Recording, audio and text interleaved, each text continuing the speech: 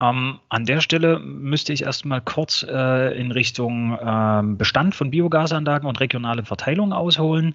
Also äh, in Deutschland gibt es in etwa 9000 Biogasproduktionsanlagen und äh, davon haben wir ungefähr 8700 Biogasanlagen mit einer Vorortverstromung, also die, die Strom direkt mit einem BHKW, also einem Blockheizkraftwerk herstellen.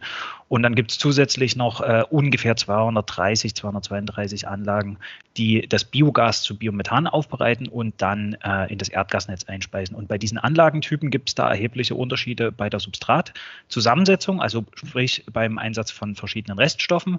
Und von den äh, ungefähr 8700 äh, Biogasanlagen haben wir einen sehr großen Anteil, also 8400 Anlagen, äh, die landwirtschaftliche ähm, Biogasanlagen sind. Also sprich, hier werden hauptsächlich ähm, nachwachsende Rohstoffe eingesetzt. Also der, das klassischste Beispiel wäre jetzt die Maissilage, die massenanteilig zu 50 Prozent etwa dort in den Biogasanlagen eingesetzt wird und natürlich auch ähm, landwirtschaftliche ähm, oder Nebenprodukte aus der Landwirtschaft, in dem Fall hier Gülle, die äh, auf der anderen Seite, also die ungefähr die anderen 50 Prozent ähm, des Substrateinsatzes in den landwirtschaftlichen Biogasanlagen ausmacht. Also wenn es um Reststoffe geht, haben wir hier einen massentechnischen Einsatz von etwa 50 Prozent Rindergülle oder Schweinegülle oder Mist in dem Fall.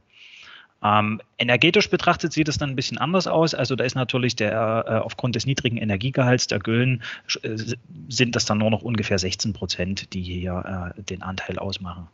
Ähm, bei den Biomethanaufbereitungsanlagen ist es so, von diesen 232 Anlagen verwenden ungefähr 16 Prozent nur Rest- und Abfallstoffe, also jetzt nicht nur aus der Agrarproduktion, sondern auch äh, aus der Lebensmittelproduktion oder aus der Ethanolherstellung. Äh, Ungefähr 41 Prozent setzen äh, rein äh, nachwachsende Rohstoffe ein und äh, die anderen 42 bis 43 Prozent ähm, setzen dann eine Mischung aus nachwachsenden Rohstoffen und diesen Reststoffen ein. Und ein sehr kleiner Teil ähm, ungefähr ein Prozent dieser Anlagen dort wird auch entsprechend Klärschlamm eingesetzt.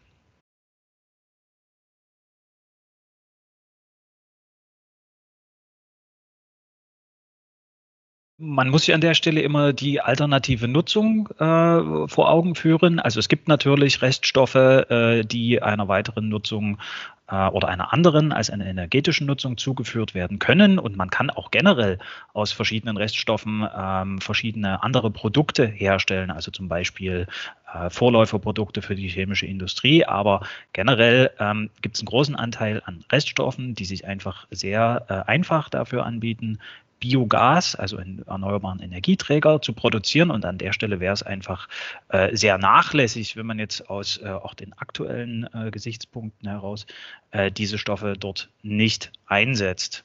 Also gerade äh, im Bereich Abwasser äh, kann eine ganze Menge über Biogas gesprochen werden, beziehungsweise eine ganze Menge Biogas erzeugt werden.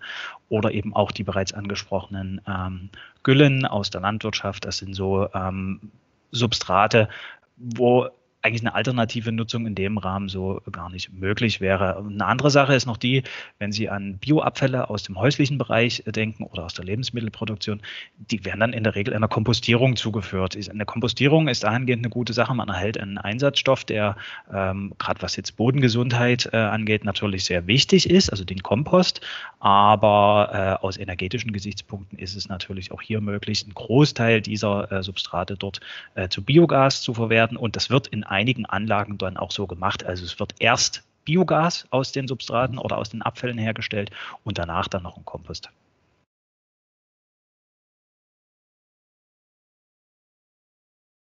Kommt auch natürlich sehr darauf an, äh, aus welcher Richtung man sich dort äh, nähert und eine so richtig einheitliche Terminologie ähm, gibt es da jetzt äh, nicht.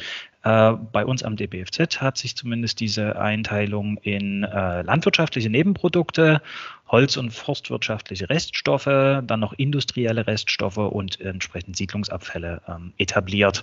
Und bei den landwirtschaftlichen Nebenprodukten sprechen wir eben von ähm, den klassischen Güllen oder Mist, der äh, äh, jetzt äh, in der Tierhaltung anfällt, aber eben auch Restprodukte aus der Pflanzenproduktion, also Stroh oder Rübenblatt beziehungsweise Zwischenfrüchte, die auf den Feldern angebaut werden. Bei Holz- und äh, forstwirtschaftlichen Reststoffen ähm, Waldrestholz wäre hier ein klassisches Beispiel, Rinde oder Sägenebenprodukte.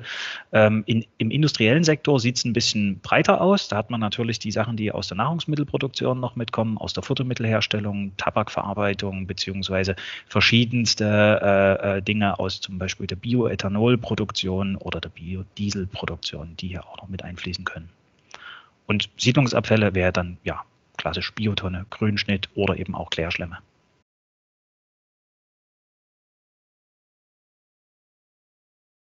Die spielen eine Rolle. Es gibt äh, da äh, schon verschiedenste Firmen, die sich auf die Sammlung äh, dieser entsprechenden Abfallstoffe oder Reststoffe ähm, spezialisiert haben und die dann auch entsprechend in Biogasanlagen einsetzen. Also der Verwertungspfad, der existiert bereits.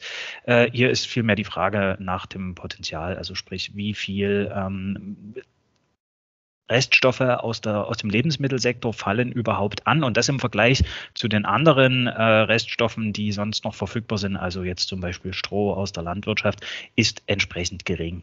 Generell kann man den Ausbau von verschiedenen landwirtschaftlichen Reststoffen äh, definitiv oder Reststoffen im Allgemeinen äh, kann man ausbauen. Und wir sprechen hier ungefähr von einer Menge, also das ist jetzt eine sehr grobe Schätzung, von ungefähr 24 bis 25 Millionen Tonnen Trockenmasse, die noch einer Vergärung zugeführt werden könnten unter den heutigen Gesichtspunkten. Da gibt es einen viel, viel größeren Teil, den man nicht verwerten kann, weil es da verschiedenste Restriktionen gibt, äh, zum Beispiel im Naturschutzsektor oder wo man eben auch, ähm, gerade auch im, im, im, landwirtschaftlichen Sektor.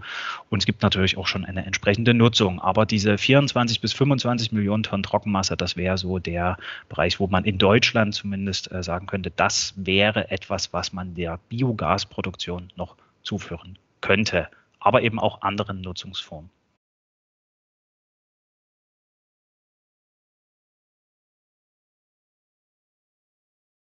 in die Zukunft gesprochen, würde ich dort sagen, das ist eher minimal, weil diese Folgen äh, der äh, Reststoffnutzung oder der äh, Effekte, die sich hier gerade im Umweltsektor einstellen können, die haben wir eigentlich jetzt schon. Und das wäre jetzt als klassisches Beispiel wieder ähm, die Nutzung von Güllen im Biogassektor. Die kommt ja jetzt nicht aus der ähm, Richtung der Biogasanlagen, sondern es gibt hier entsprechende Regionen, wo ein sehr, sehr, sehr starker ähm, Besatz oder ein sehr starker Viehbesatz äh, besteht, äh, entsprechende Massentierhaltung. Dort fallen diese Güllen an und da hat man dann natürlich in der Folge ein bisschen das Problem, äh, wie verwerte ich denn und wo verwerte ich jetzt diese Güllen? Und da besteht durchaus das Risiko, ähm, auch entsprechend ähm, äh, zum Beispiel äh, einer Wasserverschmutzung, also jetzt Stichwort Nitratbelastung im, Grund, äh, im Grundwasser, das kann an der Stelle definitiv mit reinspielen.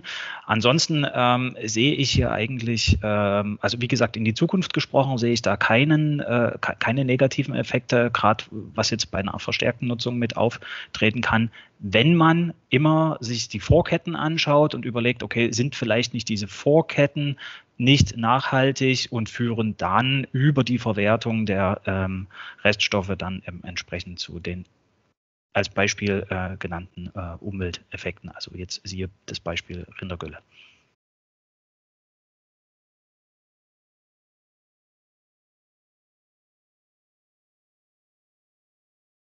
Die Frage geht ja so ein bisschen äh, in, in, in, äh, Ihre Frage bezüglich der direkten bzw. indirekt ungewollten Folgen dieser Reststoffnutzung. Und ähm, da wieder mit dem Beispiel ähm, Gülleverwertung muss ich eindeutig sagen, die wären eigentlich vermeidbar, wenn man eben die Vorkette entsprechend ähm, anpasst.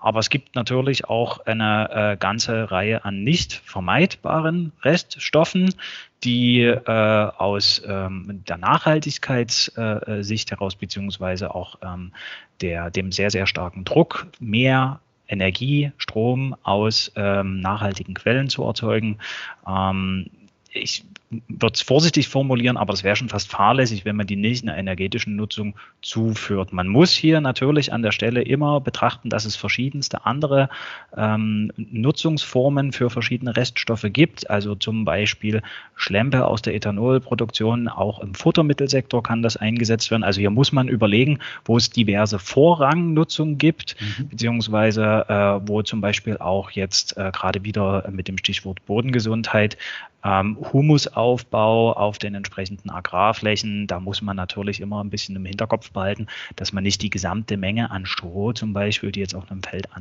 anfällt, dann einfach abziehen kann und in einer energetischen Nutzung zuführen kann, sondern da muss man äh, ein sehr ausgewogenes Verhältnis am Ende erreichen.